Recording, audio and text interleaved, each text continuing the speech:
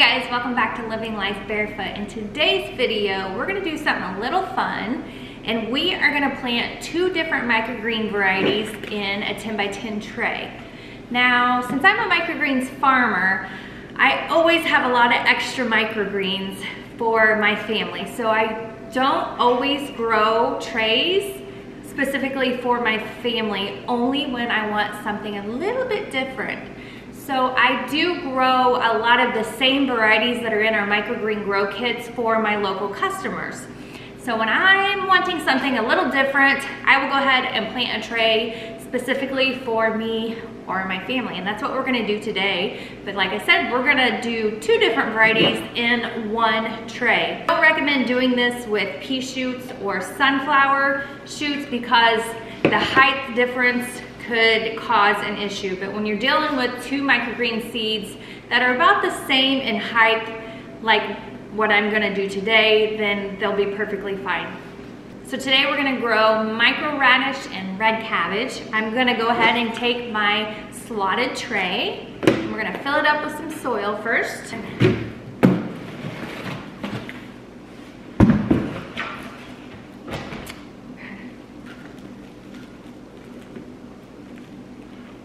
I like this handy dandy little feed scoop. Works out really well.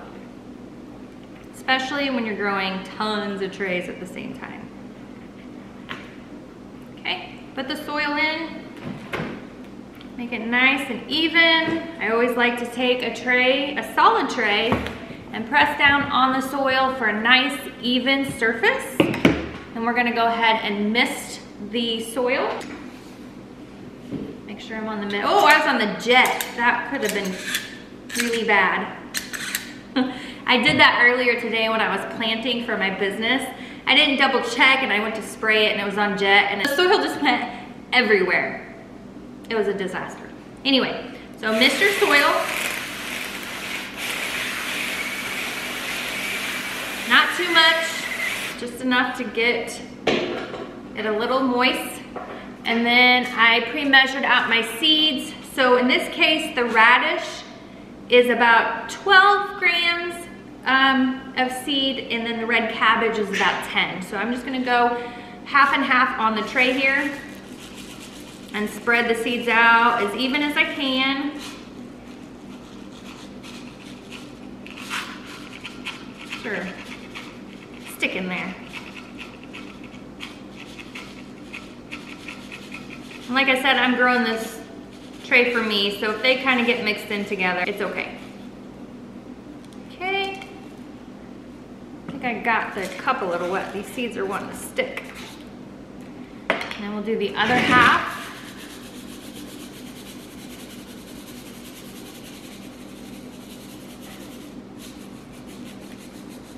With the red cabbage.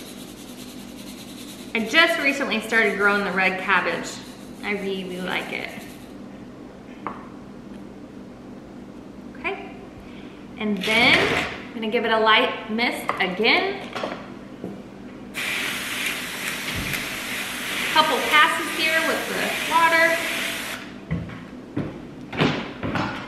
And I will kind of show you if I can. So the seeds are dispersed pretty even there, not too much on top of each other. And then I'm going to take the solid tray with no holes and I'm gonna place it on top. And then I'm gonna go get some weight. We're gonna put weight on it and then we're gonna let this set in germination just like this for four days. And then we'll be back and I'll show you what to do next.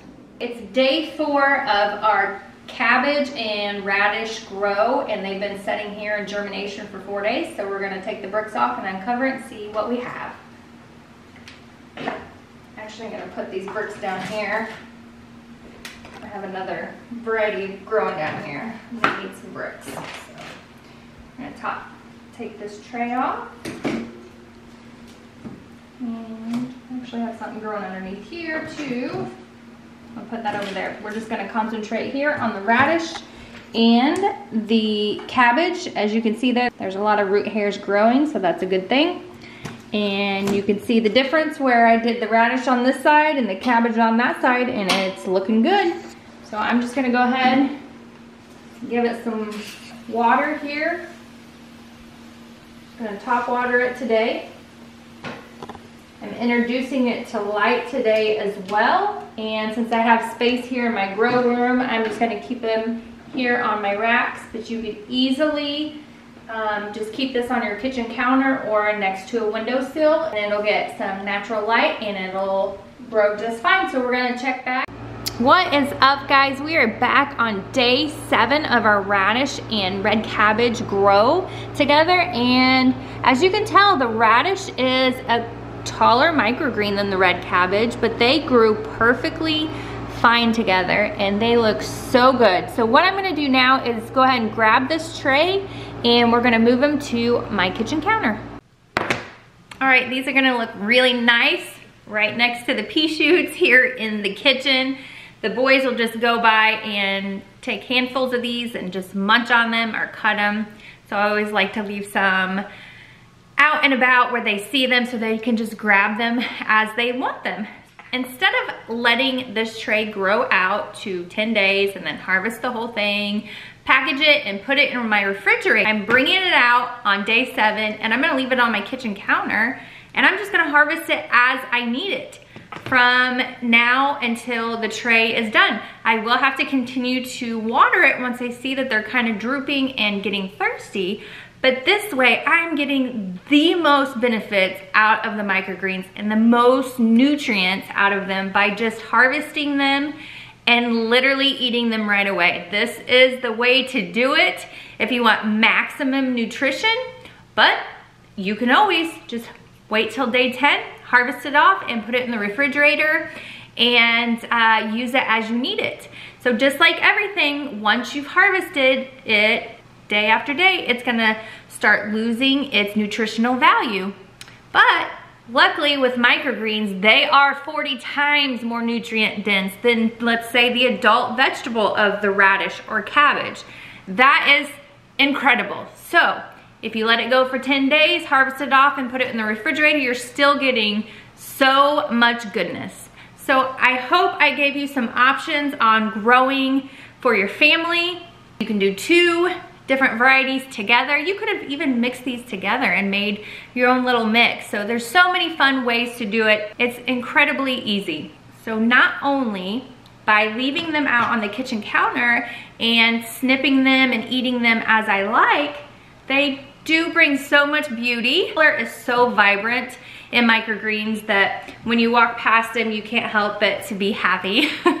I'm gonna go ahead and um, leave these right here and harvest them as I need them and just eat them all up and get all that nutrient dense goodness that body needs and craves and wants. Just be at our best health possible and you can do that with microgreens. I hope you enjoyed today's video. Please comment below, does your body crave and want fresh greens even during the winter months? So microgreens are the way to go. Aren't they so beautiful? Remember to subscribe to our channel so you can get more awesome content on microgreens and everything living life barefoot. Please like and share our videos. See you later. Oh yeah, I almost forgot. If you're interested in growing microgreens for your family at home right on your kitchen counter, just like this, go to barefootmicrogreens.com and check out our microgreen grow kits and I will teach you everything you need to know to get started.